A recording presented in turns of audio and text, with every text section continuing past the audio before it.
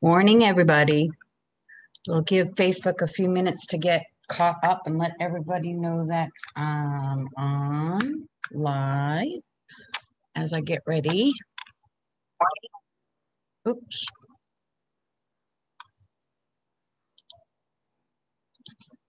There we go. We've got a lot to do today, so I'm going to get right into it. How is everybody?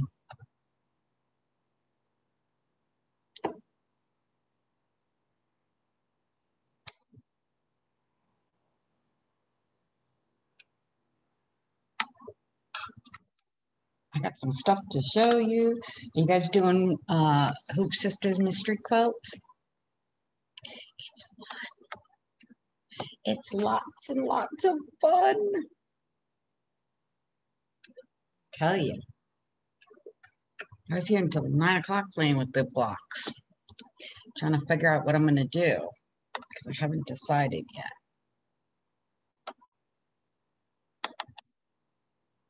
But I'll show you. First off, look at June's Fill in the bank blank by Kimberbell. Isn't that adorable? And you get two uh, bodysuits with this month's blanks. So if you do the gray bodysuit, it'll be red. If you do the uh, peach or pink blush is what they call it, bodysuit, it'll be white here. or I think it'll be white here. I don't know. Either way, it's white here, I believe. I don't know. I'm all confused.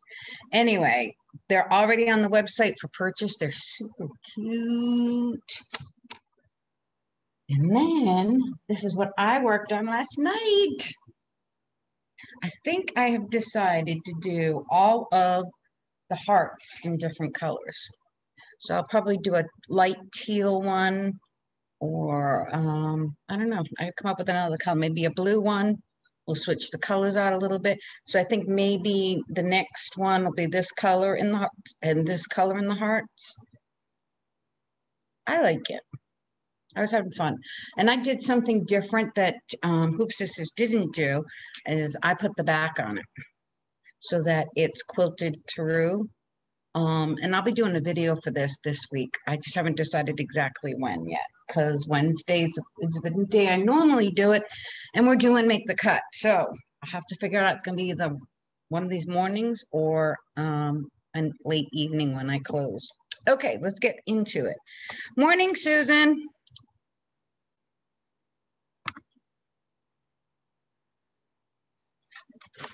All right. So this is our block uh, 35. I've already done the half square triangles because I've done it a lot and um, you guys should know it by now. So all I'm going to do is do some chain piecing to piece, piece these little four patches together. I was here late last night.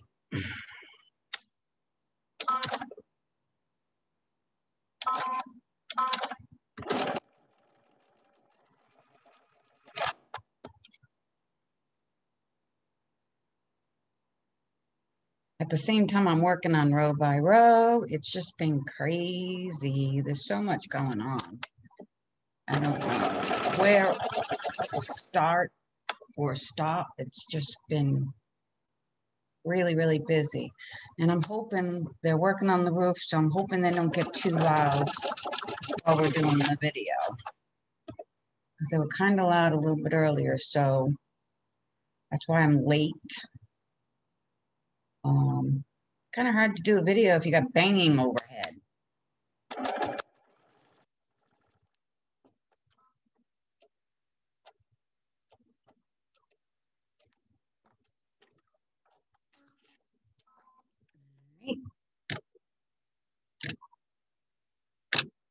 Let me just iron these real quick.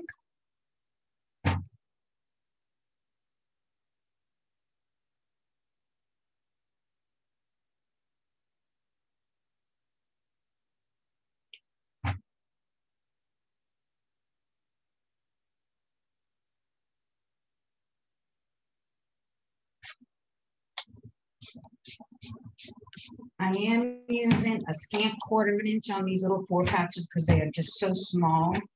Um, I may have to cut the blocks or trim the blocks up once I'm done.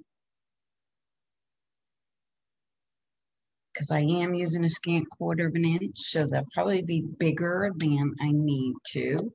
So now I'm going to continue with our chain piecing for the other part of the four patch.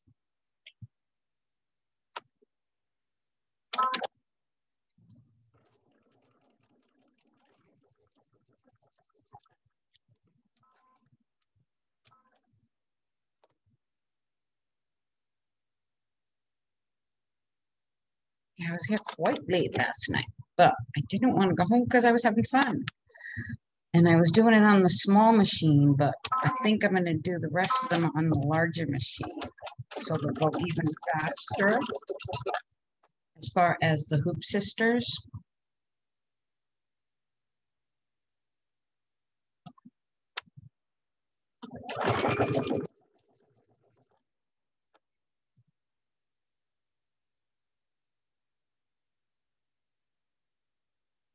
And I think I'm going to do a little video for the Kabloom. I mean, uh, not the Kabloom, the uh, Main Street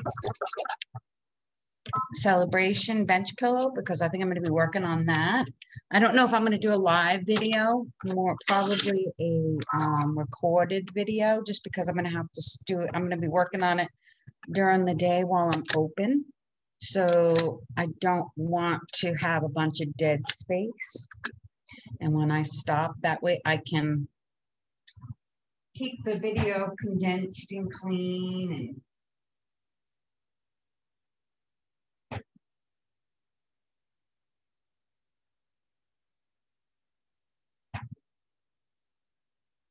it'll be fun, especially since I have all of the fabric now for it.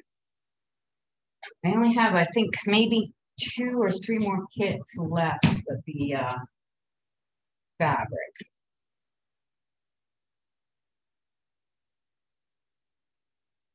All right, now this is gonna be easy peasy.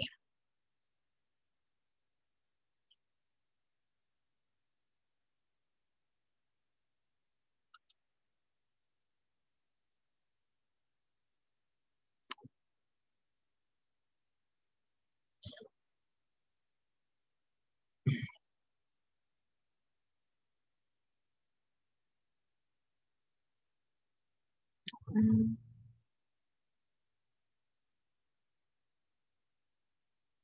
Yes, that's right.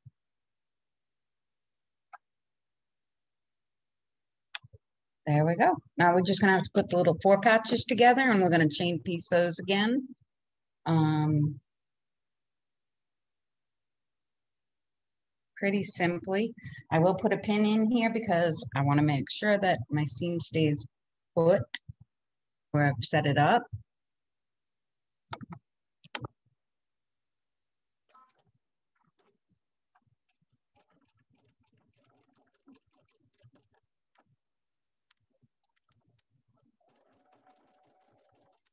Stop where the pin is and not so over the pin.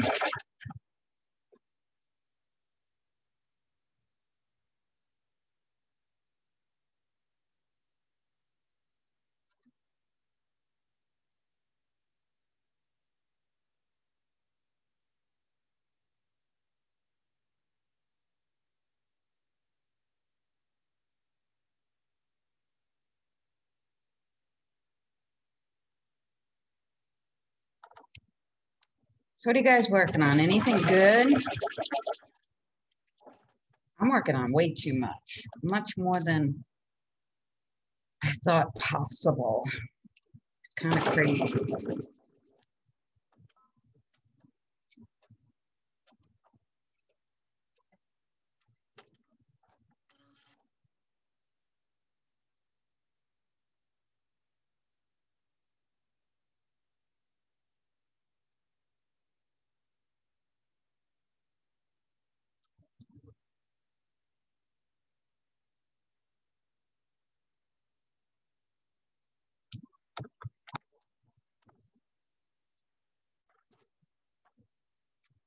Didn't mean to cut it.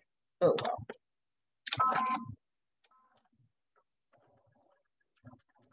No.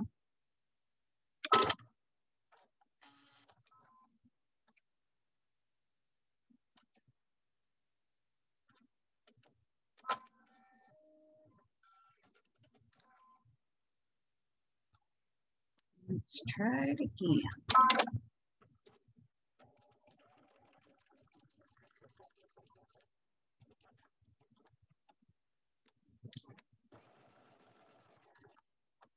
One more and then we can get these block together. There's one more four patch here.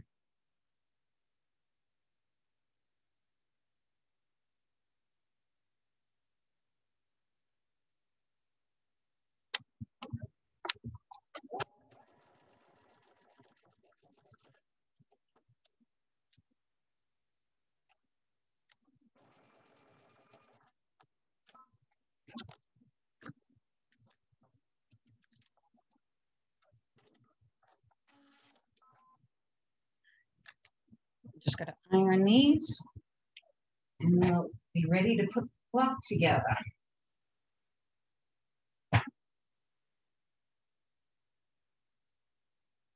There aren't gonna be a lot of matching seams at this point. Um, There was with the four patches, but now not so much. Iron this, so there's just a little bit more.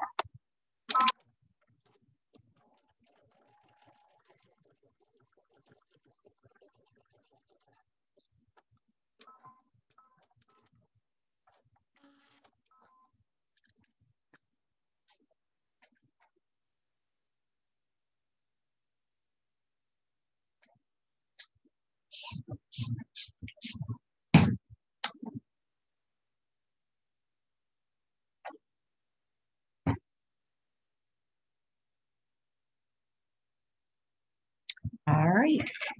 Now.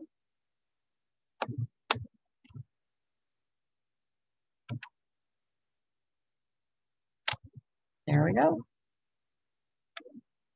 So now I'm just going to sew it together just like any normal nine patch. Once you've made them, all the pieces. Pretty simple.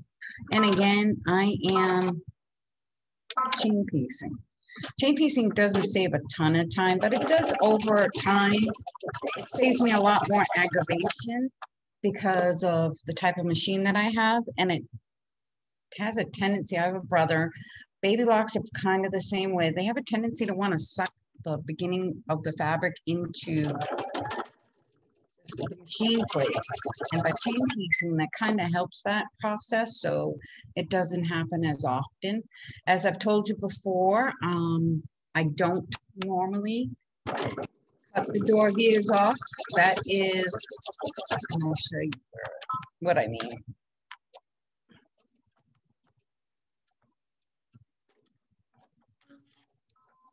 I find keeping the dog ears on help me with piecing, lining up, and they give me just that little bit of fabric. See that dog ear right there? That gives me just that little bit of fabric to go into the machine as a start. Plus, usually where it meets the fabric here with this angle, it is a perfect bullseye for where I should be aiming towards.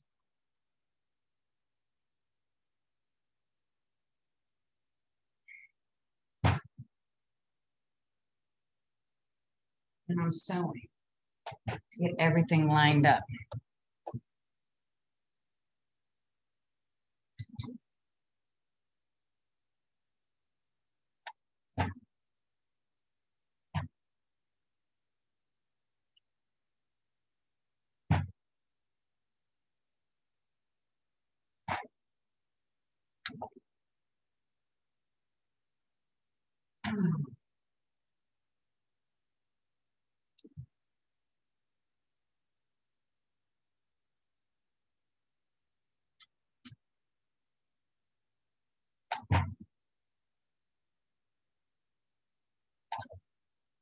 All right. Now all we have to do, and let me make sure I get these going the right way.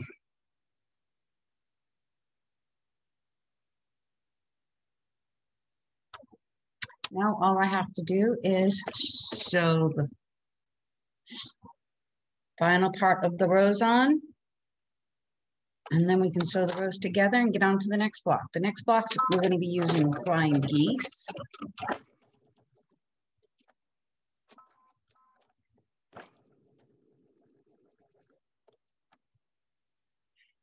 And it should go pretty fast.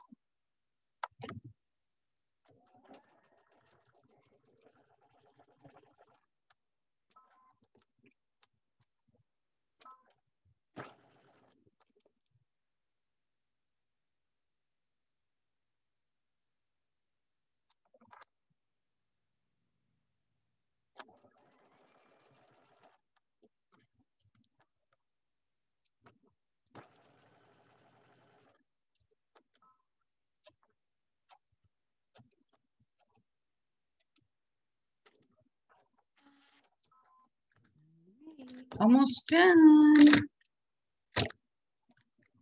Just gotta iron these pieces over.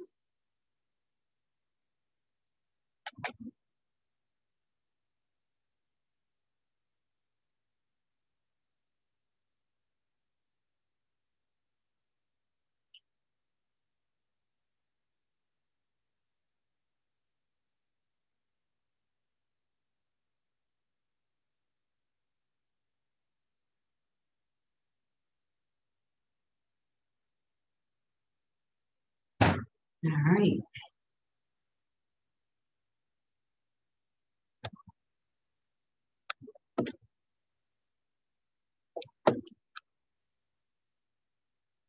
Here you go. Now we're just going to sew our rows together. And I will pin my seams.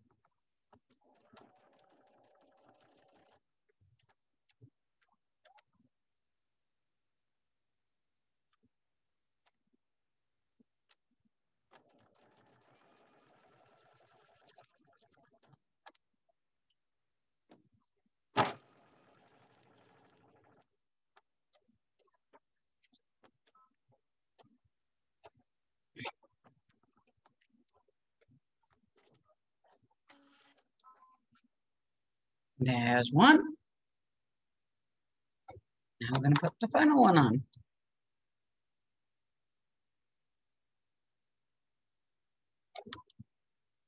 And then we're on to the next block.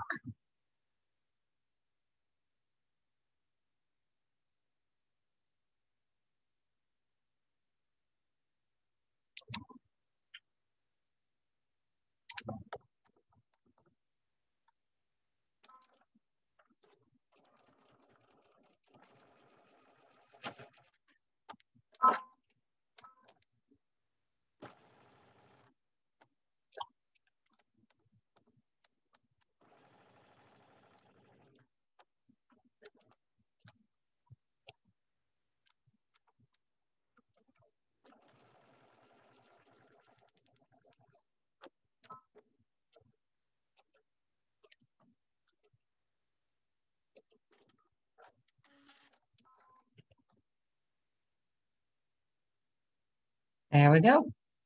Doesn't it look nice? All lined up, pretty pretty. All right, let's get ready for this next one, which I've already started. I've done half of the flying geese, which you start with a rectangle, and then you've got a square that you put on one side, and then we put, line up this one on the other square on the other side.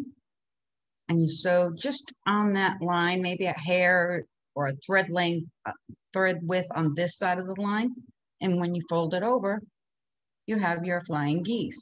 Now, I will tell you, I tend to start on the same side of the block every time uh, I mean, the same slide of the, the flying geese, because I find it, you can sometimes, um, if you flip back and forth, sometimes that's just enough of a distraction when the quilt is done and the blocks are done that you can actually see it and it shows up more than you want it to. So the first one I did draw a line, but as I've done before, I'm not going to draw a line on the others. I did that so that you could actually see what I was stitching. Um, I'm going to use my grid guide mat. By lining up the point here and the point uh, at the needle, I will be able to sew in a nice straight line.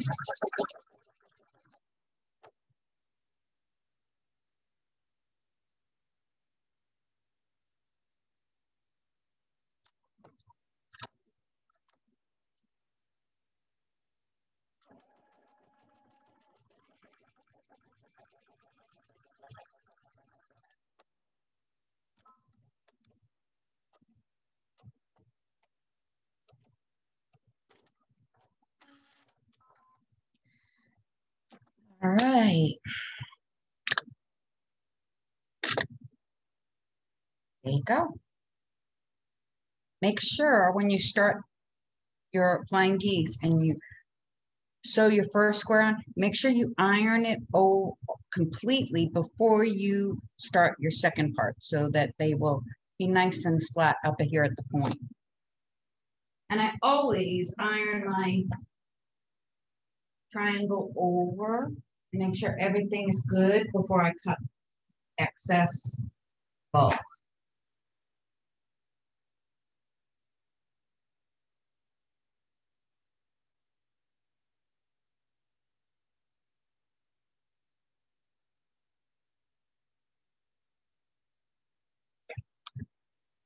There they are.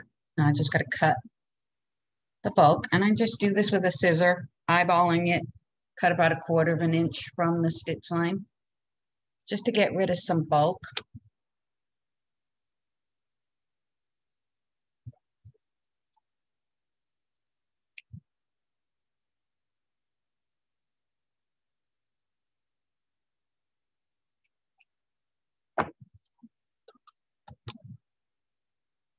All right, now this is going down. And see. So we've got them so that they're going every other. I'm going to sew these together and then I'm going to sew these together. Now, here is an important step that, or an important tip to make sure that you never cut off the point on your flying geese. There is a, a crisscross stitch line right here. When you stitch, make sure you do not cross on that side of that X. Make sure you're on this side of the X, and guess what? You won't cut off your points. Always make sure this one is on top so that I can see it.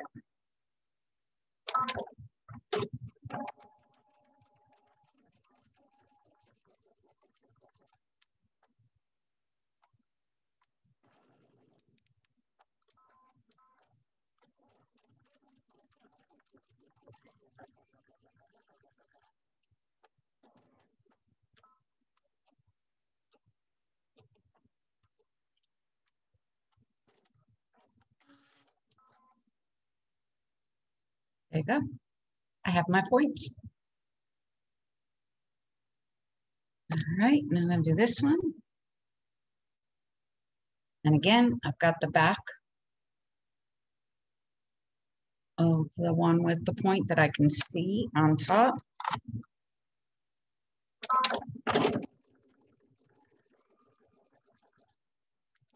I lift up my foot to make sure my seams stay where I want them to.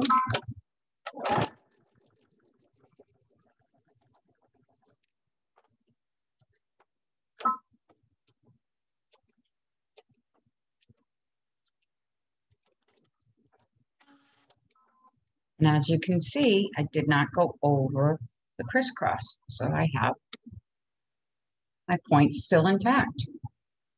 Iron this, and then we'll get ready for the final portion of this block.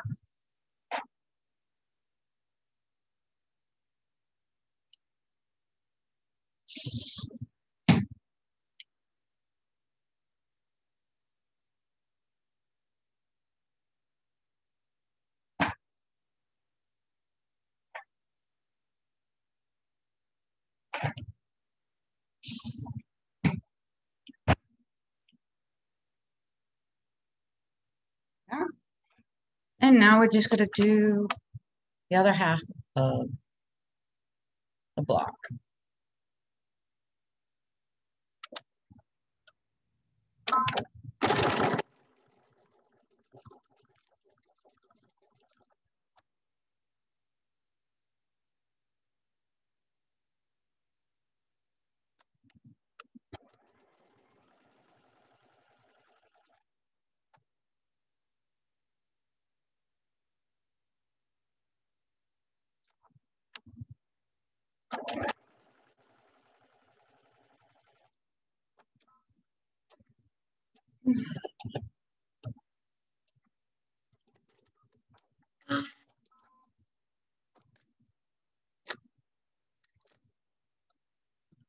To just these. Whoops.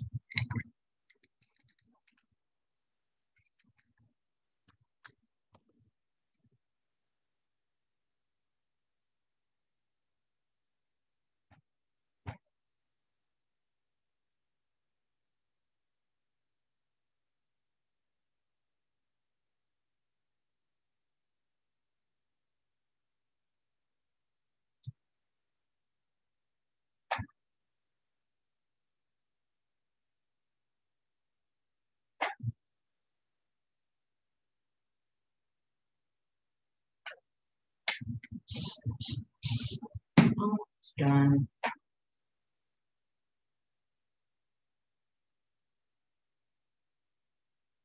All right.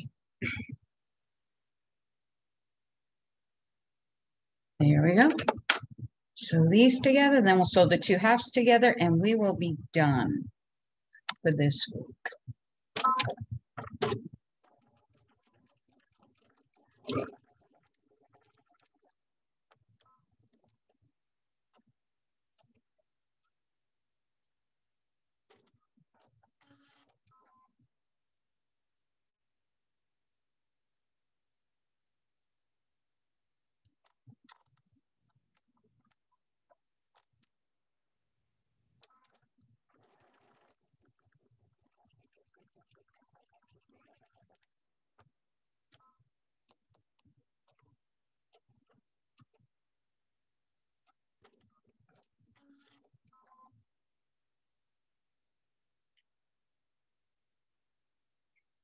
Great, one more press.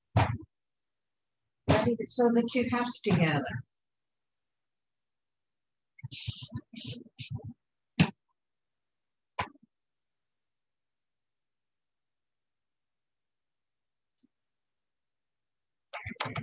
Here we go.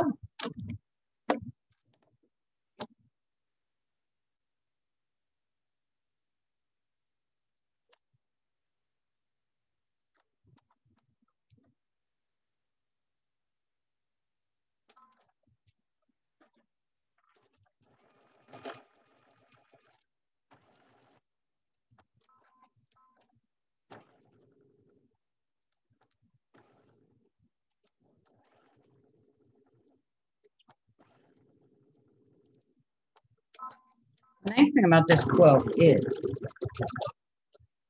as long as your colored pieces line up, the rest of it really doesn't matter too much.